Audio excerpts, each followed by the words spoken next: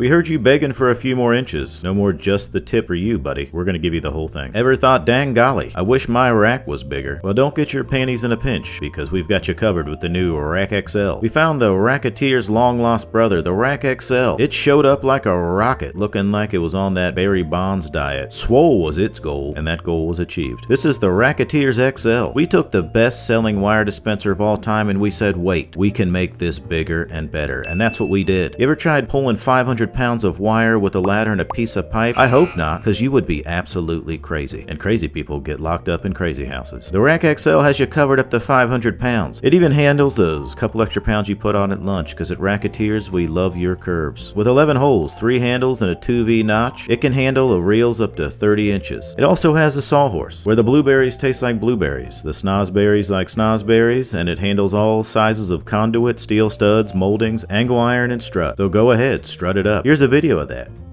Don't ask us why this jackleg's using a hacksaw on a piece of pipe. We're not his mom, and we didn't raise him. The two racks snap together for easy transportation in the van. It even has three handles, making it easier to carry, especially for those people with three hands. This bad boy is rust-proof, waterproof, and 100 proof. So you better believe it can handle the rain and it's gonna make you drunk with electrical power. And it's made right here in the good old US of A, and we know you like to hear that. You can get your Rack XL today at rack-a-tiers.com or your local distributor. We are allowing you that choice because America's about choice. There's a link to it in the description below. Go ahead, click freely.